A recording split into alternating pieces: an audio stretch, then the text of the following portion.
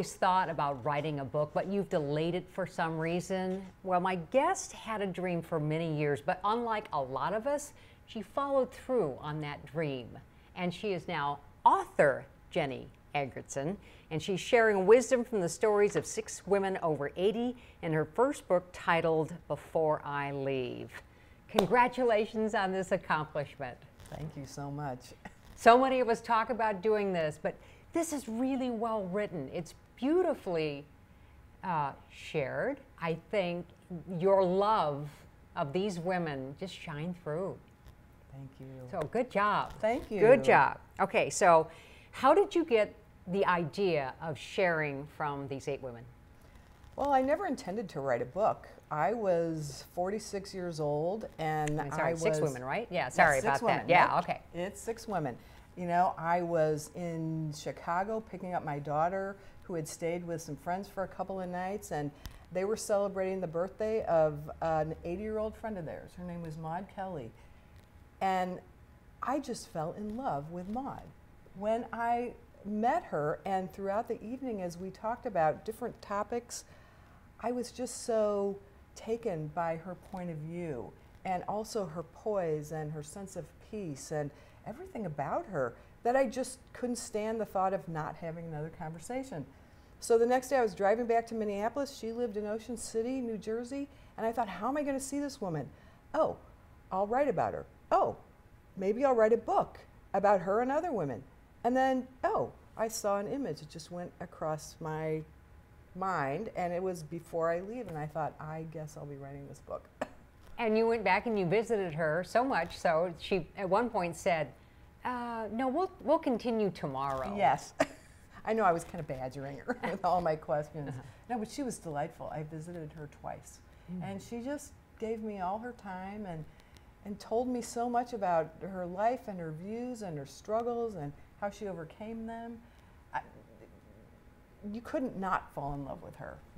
So, And as you as you as a writer, as you kind of thread through these things, do you see similar wisdom that is passed down? Uh, I think there was one uh, portion. I think it is it's in the intro. Uh, they were talking about how.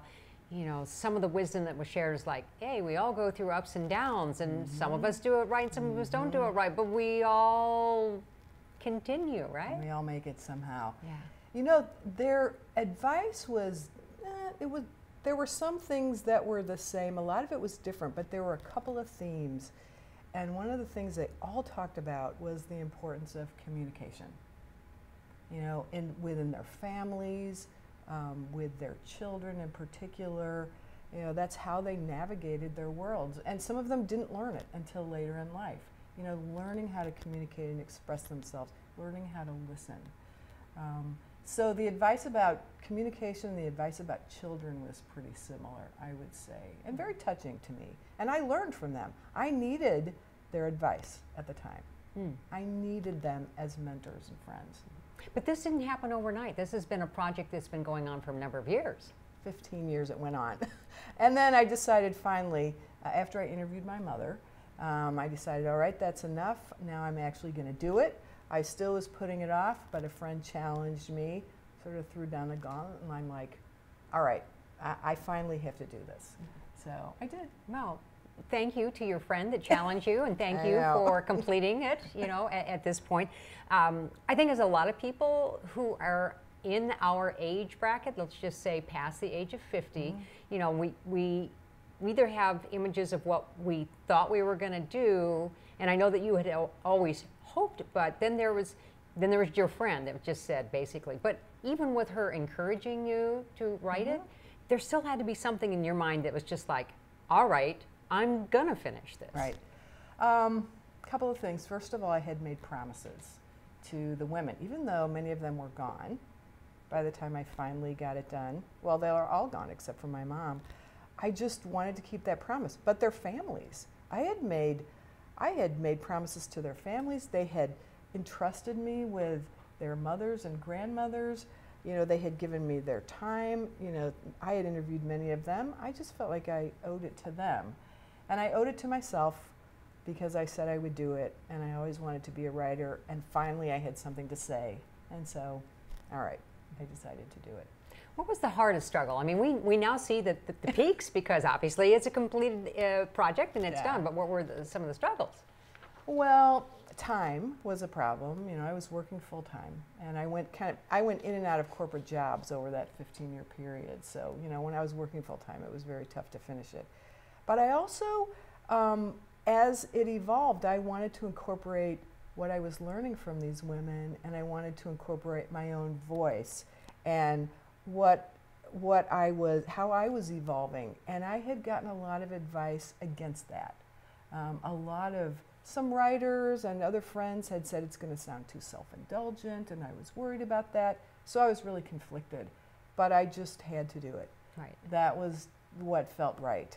Um, so that was probably, and then finally, I had not given myself permission to have my own voice. I don't think until I finally did it, and I realized, oh, I was holding myself back. I, you know, I, again, this is just me. I didn't see an overprojection at all of your your thoughts. You just, but the, for for me, it it was a constant. You know, this is what's driving on to the next page. Oh, let me follow this. Oh, that makes sense. How did you find your six women, other than your grandmother and your mother, obviously? Okay. Well, um, and Maud, whom I met, she was the impetus for the book. But the second woman, Sadie, was, let's see, a neighbor of mine, uh, suggested that maybe his Lebanese friend would know somebody. And so I went to a party and met Tony, and he, he recommended Sadie. And we met, you know, and I fell in love with her then and knew she was the right person. Um, my aunt, Phyllis, actually recommended that I talk to Ruth Yamamoto's daughter because she was Japanese American. She thought she would have a powerful story, which she did. Uh, and then I pursued a name. I went to, I don't know if you remember Dr. Carol Johnson, who Mhm, was yes. superintendent of Minneapolis Public Schools. I Mhm. went to her for a name. I had worked with her um, in a different capacity when I was at Target, actually. And um, she recommended Hallie, doctor Hallie Henriette Smith. And as soon as she described Hallie, I was like, yeah, that's the one I want. Mhm, That's the one I want. So just people I knew, mhm, you know. mhm. And just kind of floated into your universe. Uh, what were the joys of completing your project? well, getting it done, doing what I said I was going to do, um, just knowing that I had, you know, completed my commitment to these women. Um, I also really, really want to set an example for what we can gain by um, sharing, by having relationships with people who are older than we are, or just in a different generation, because I gained so much and I needed them. Mm-hmm. I needed them as mentors. I needed them as friends. And so the joy that I have now is, wow, now I get to let other people know about that and encourage them to do that. Mm-hmm. So, Your final chapter is with your mom, and so and, and you call her Songbird, uh, and but I, I found this interesting. You're going to read a little bit from that in, in a minute, but the thing that stood out uh, from that is you say I just needed to give myself permission to actually finish what I had begun. yeah, yeah, yeah.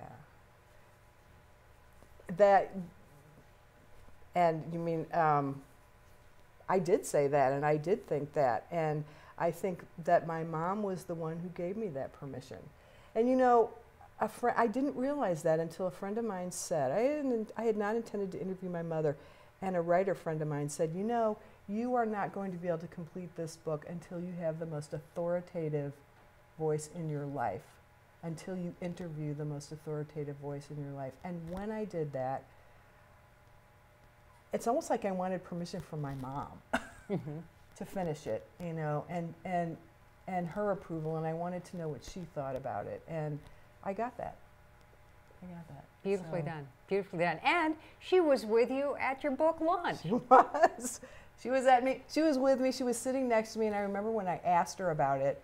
I said, "Mom, would you hold my hand?" And you know, in case I need it. And she took me quite literally. She walked onto the stage and held her hand out. She was seated, and I was standing up, and we held hands for a little while, um, because that's just the type of person she is. Yeah, it's so so well done. Where can people find your book? Um, I am selling it on my website at www.jenneyegertson.com. That's Jenney with an E-Y. So, um, and that's, for the time being, that's where I'll be sending it. I, I hope to have it in bookstores sometime soon after the first of the year.